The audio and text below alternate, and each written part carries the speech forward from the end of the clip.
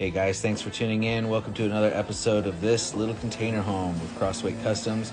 This is a double 40 foot design where we've blown out the entire interior sidewalls. That's going to open it up for a really nice little floor plan here that you'll see on our design page back on the website. So you can check that out at crosthwaitecustoms.com where you can find any answers to questions through our videos on what a sustainable container home is. Crosthwaite Customs, have a blessed day. We'll see you guys later. Bye.